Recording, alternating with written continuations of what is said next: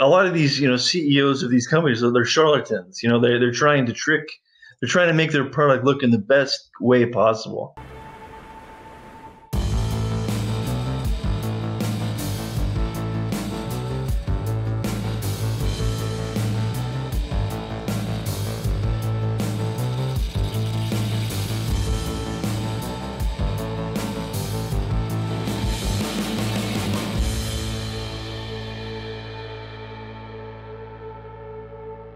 Well, we, we really look at the at the at the product, make sure the product works well. And um, for example, the, the last one we have did was uh, Wrap Technologies, and um, and we also look for situations where the management doesn't explain the product well enough. Like it doesn't, the management only looks at at at the positives of the of their own product.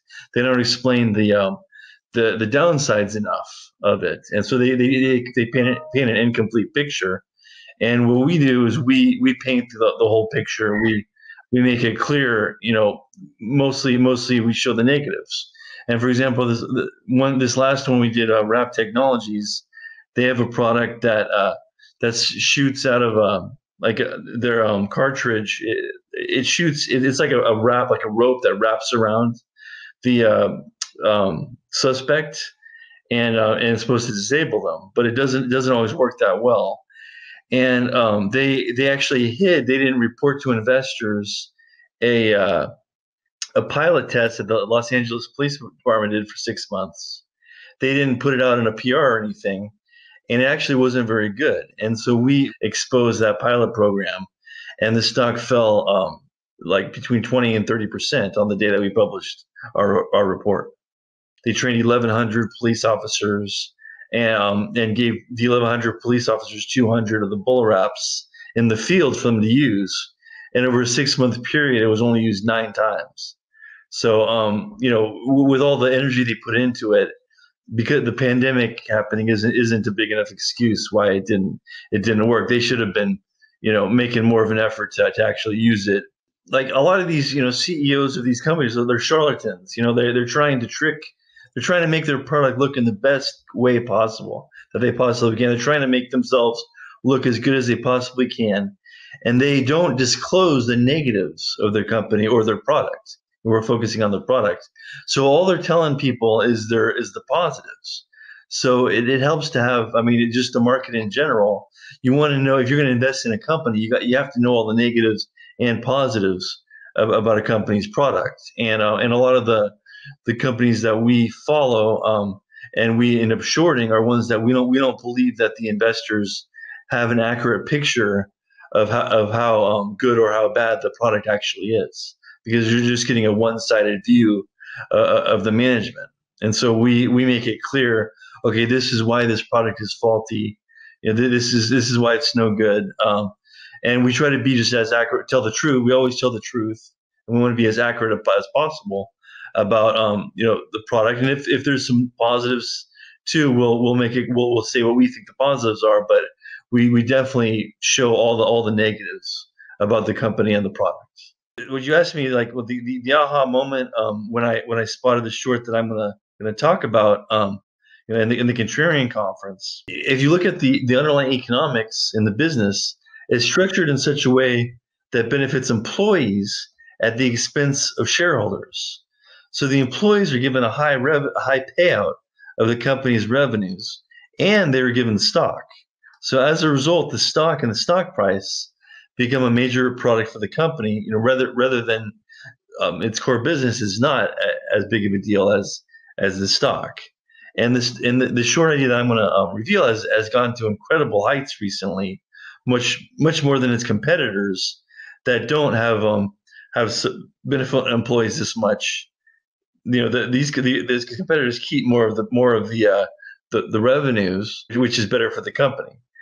But this company that's gone up so much is is attracting so many salespeople that that's why that's the reason why the stock's going up. But it doesn't have any advantage um, over its competition in regards of gaining new business, new customers. It can just get get new employees, new salespeople. And one thing that it has is, is a Zoom-like virtual virtual reality type of product that that helps communication within the company that, that I think is over overrated. when I first heard about this company, I heard it from from actually a client who told me this looks like a good short idea. And, and I was looking at it, and and then it's it gone up so much. I mean that, that that's actually a really good spot to short is when someone else says, okay, this is a really good short idea at this price, and then it goes much higher than that price. So it was a good short idea. Now it's a great short idea because the higher a stock goes, you know, the safer it is to short it. And so th- this this particular company, um, the it, it's it's strange business model, and then this stock, which continually risen, you know, w- way higher than its competitors in the sector. You know, that, that motivated me to, t- to take a closer look. I think the, the whole story is going to unravel when uh, when well first the, the, hype around the remote work tools uh, subsides you know when when there's less hype around you know virtual reality and zoom type of tools then then the stock you know the air might come out of this bubble. And um, if revenues don't don't grow as much as expected you know such as what happened recently with fastly they recently lowered guidance uh, that was that's, that's a high flying tech stock and the stock crashed 30% so um, something like that could happen with this one that i'm going to do and another thing that could cause it to fall is if the sector it's in uh, starts to slow down, because the sector right now is really hot that it's in. And if that slows down, this is like the highest flying stock in the sector. So um, once that slows down, then the stock could could crash from that. I think short selling is very difficult because if, if you're shorting a stock that's uh, that's short that a lot of people are short, sometimes there's a high borrow rate and you have to pay a fee to hold short your short position. So often you, you can't you're you're unable to hold for a long period of time because you're paying a constant borrow rate, and that can be as high as 100% or more. Um, you know, or often like 50%, and you know you just keep paying that. But um, I think people need to understand that that people that don't understand short selling, they think it's evil. You know, evil is that the you, you need to see the, the positives and negatives of, of investment. You, you shouldn't just see it one way. And um, and the yeah, often when people put out a report, you know, the, it makes the stock go down, but it's going to go down anyway, whether you're going to um, publish a report or not. Like, like if you publish a report and it goes down, people get angry who own the position. You know, they're, they're mad because they might have bought it at the top. Who knows? I mean, you might have caused some people to lose money on their long position. But the thing is, this is going to happen eventually anyway. And it's best to get it out soon because the, the management is going to keep selling shares and enriching themselves. And they're going to take even more money from shareholders.